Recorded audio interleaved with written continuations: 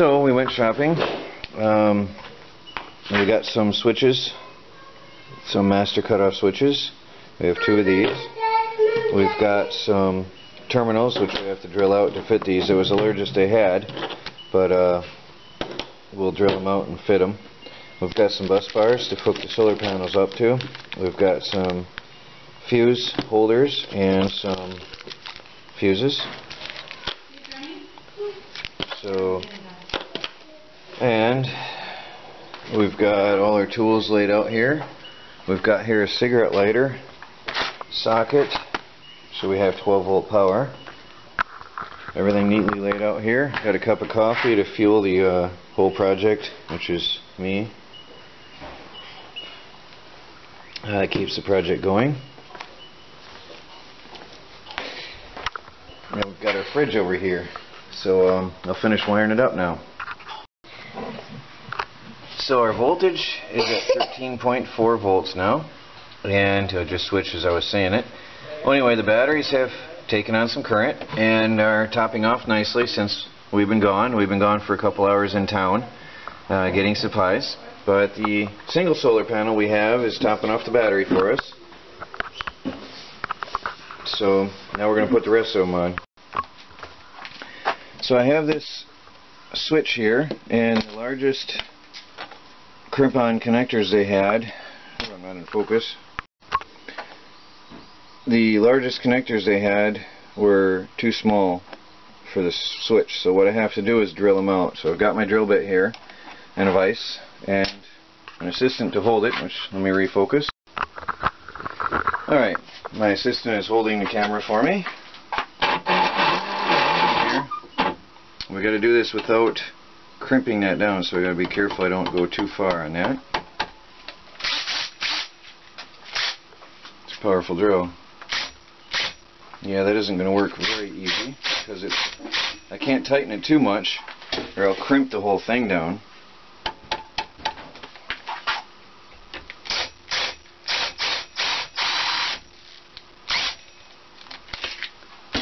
See this awkward trying to drill something that is um, a crimp connector, isn't it? Maybe if I try it this way, might help a bit. Might help a lot.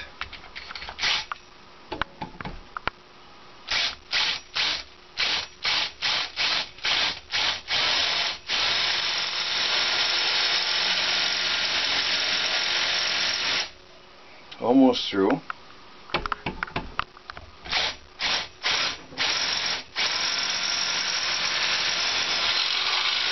Okay, there's one. Now, see if it fits. And, oh, it's very hot. Eh, I need to make it a little bit larger. Just a tiny bit. I'm going to try drilling it, holding it like that. That's better.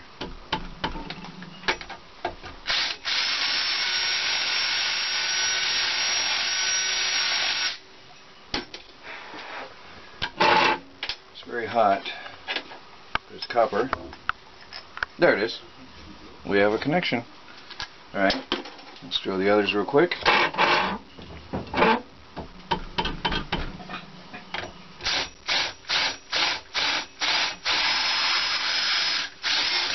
Much easier. Widen it out right away.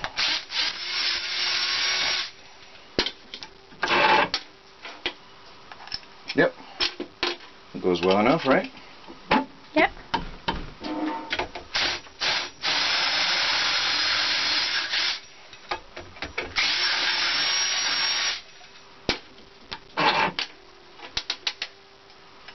Mm -hmm.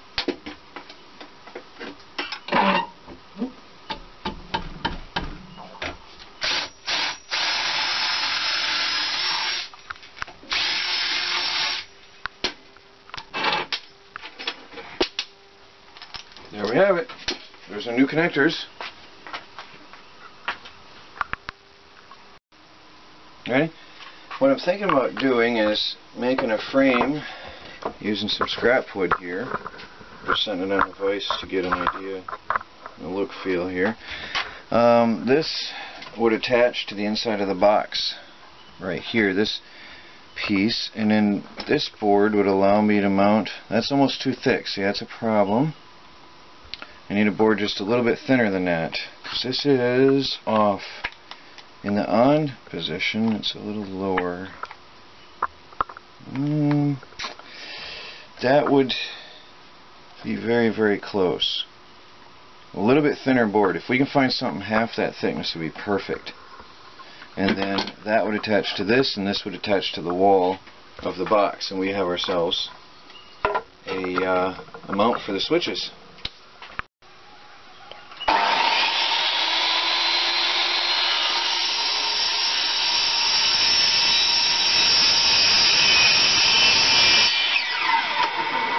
Okay, there's that piece. Now we want this one will be just as long. Yeah, there's something to mark it with.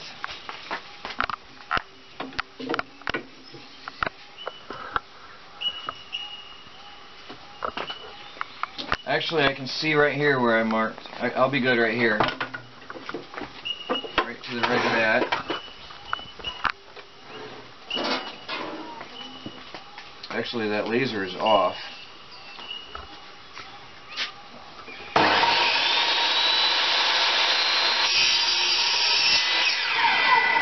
Okay, now this should be our mount.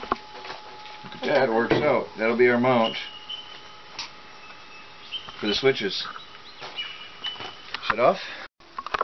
Oops, don't move it. It's got to be flush with that right there.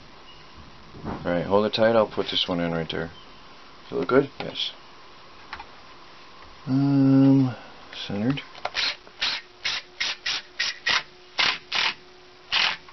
Nice screws. Nice screwdriver. Alright, if we get that one flush right there, put your hand there, and I'll get the end on. Just a minute.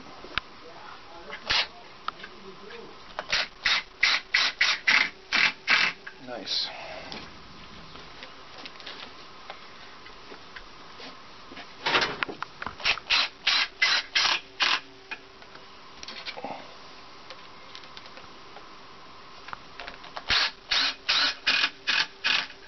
Okay, now we have the plate that's going to hold our switches.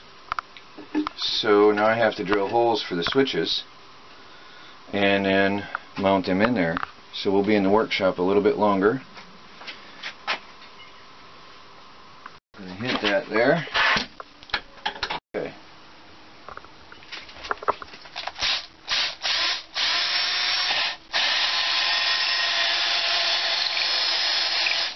Dull cutter.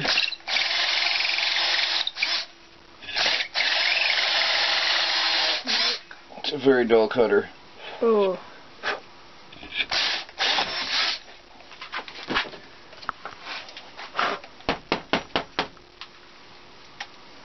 That's the problem.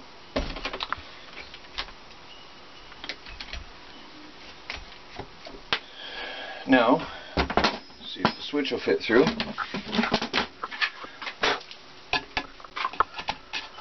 It's going to work. Okay. We'll do the other one.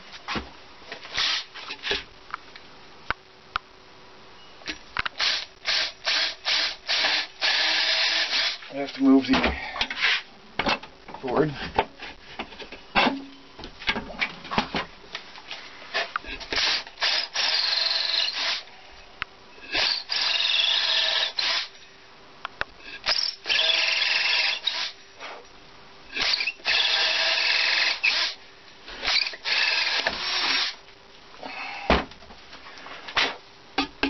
And the other switch should fit.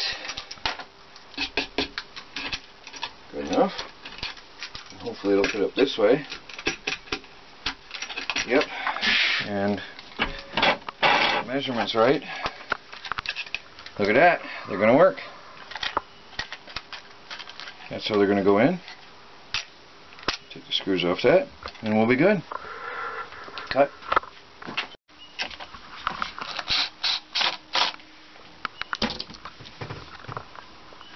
Look at that.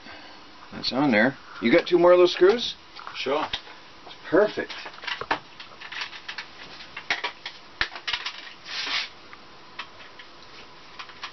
Ah, sorry, man.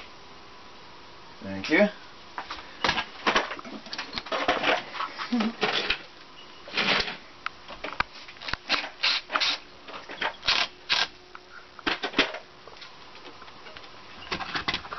so you can see it there.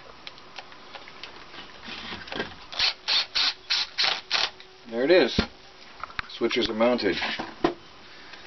So, these go in, just like that. There they are. There's our switch box. So we'll go mount that in the uh, big box. Yeah, right there is fine. Alright, now I have a fuse connector here. I'm hoping that it's going to be long enough because I have to come from here to this switch here. That's going to be my main power out. So, side cutters, cut this roughly in the middle.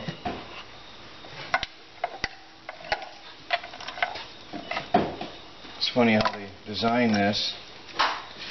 And I have to put a fuse in. It's a 60 amp fuse. We'll put that in here.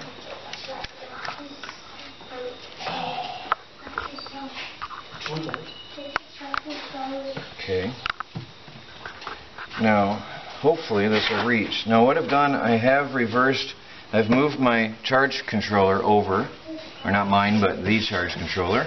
I've mounted the switches in the box and then the inverter will go here and now what I've done is I've switched the charge controller's wires to the outside two wires so my inside two can go to the inverter and keep them short. Now I need to just hook this one up. This is going to work out perfect. This one will go from the positive to the switch.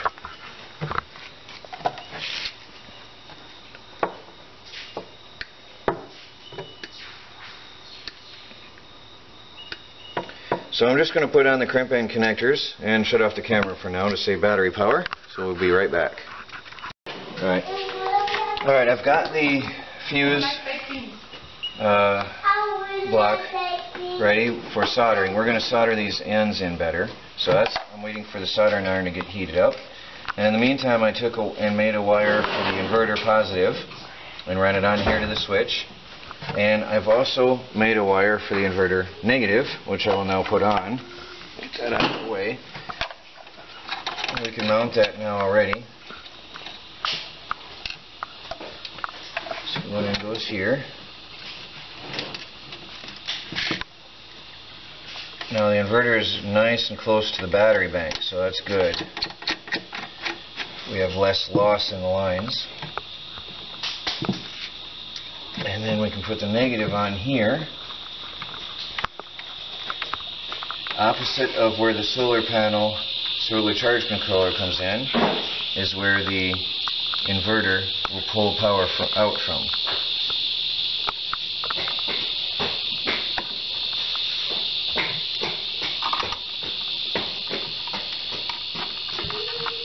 So the positive is going to be fused and have the switch. So it's going to be a very safe setup.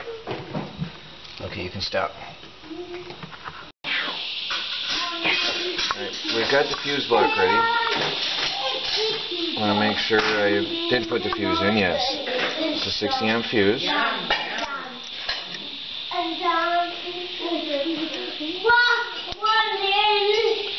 You may hear a family in the background. So I am at somebody's house. Alright, this is going to go from the positive here to the switch, and it's going to reach just fine. That's perfect. Perfect. Alright, I'm going to go onto the switch first, which you won't be able to see, so we can pause the camera and we'll come back. Ready? Alright, we've got this attached to the switch now, and then we'll attach here, and we're probably going to see a spark. Wait a minute, that's off. On, off. Okay, the switch is off. Because uh, normally if the power was on with an inverter, you'll see a big spark, which I don't like. I don't like the big sparks from the power inverters.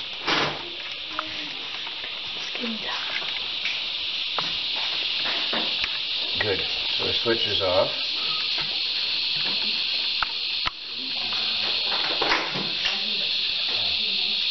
I do hope you can see in there still. It's getting pretty dark.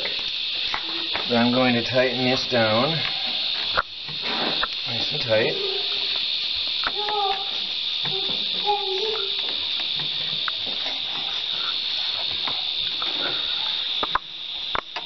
To make sure all these are nice and tight now.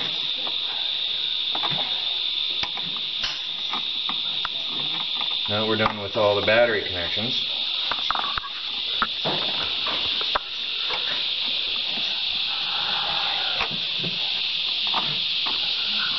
Dark. It's been a long project today, but it's coming to a close. Okay, there we have it. All the battery connections are done. Yeah, it's getting sort of fuzzy on the camera now, so we can turn this on and the inverter should kick on. Power switch, and there we have power. See the LED light on the inverter? See that over there? You can hear it running. We have power. So now we have AC power here. Success. And there's your master on-off switch. Okay.